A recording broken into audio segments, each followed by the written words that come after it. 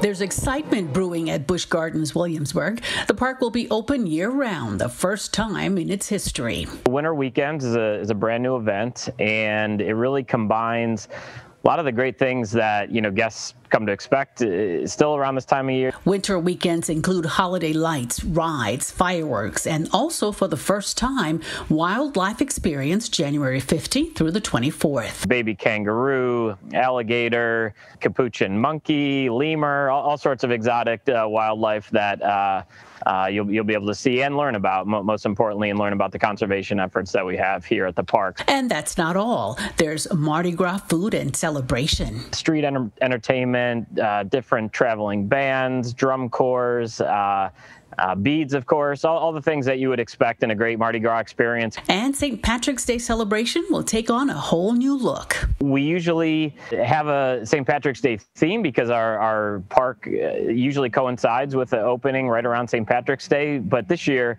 really turning it into a whole month long event. Sesame area will be open for the kids, and the park will continue to practice safety precautions with hand sanitizers, mask required at all times, and temperature checks. Reservations are required to park events. You can buy tickets at buschgardens.com. Antoinette Essa, working for you, CBS 6 News.